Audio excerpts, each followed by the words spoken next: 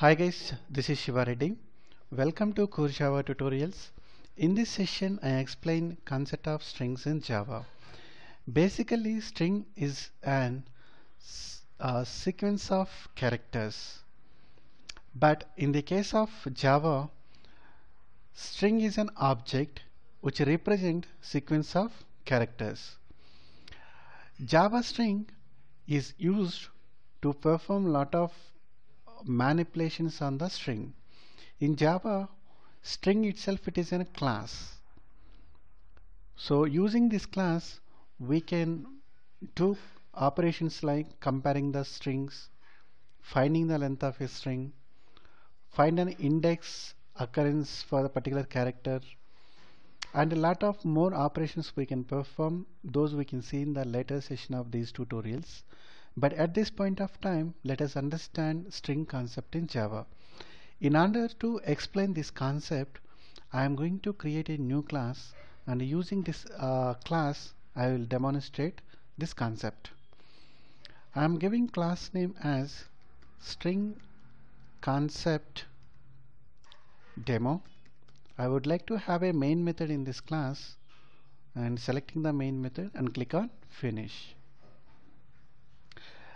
In Java, you can create a string in two ways. First one is using string literal. So here I can give I am giving name as str1 is equal to I am giving as a value 1 and another way is string input 1 equal to new string here I am giving a value as input 1 let us consider input 1 okay. Now what is the uh, difference between uh, creating using the literal and create uh, creating a string using the new keyword? Whenever you create a string using a literal representation then the value of the string is going to be stored in the string pool. I am going to explain this concept using a diagrammatic representation. So here is the thing. Whenever you create a string using a literal, then what happens? The value is going to be stored in a special memory area called as string pool. But whenever you create a string using a new operator, then the value or the object will be stored in the heap memory. Now let us come to this point. Here value 1 or let us consider the same representation is value. Okay, here also I am modifying value 1. Okay.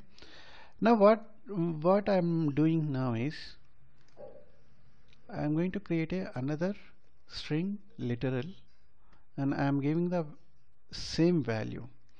In this case what happens when two strings you are going to define a same value first JVM look for is there any where uh, any where string value already present in the string pool if it is present instead of creating a new object or the new memory for this the same value is going uh, the same address is pointing to the new variable also.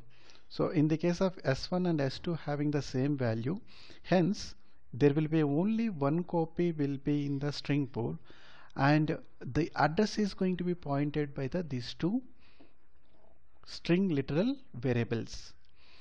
But in the case of uh, whenever you create a uh, string using a uh, new object every time you create an object it will placed in a memory with a different uh, object or the address. So in the case of input 1 and input 2 what happens?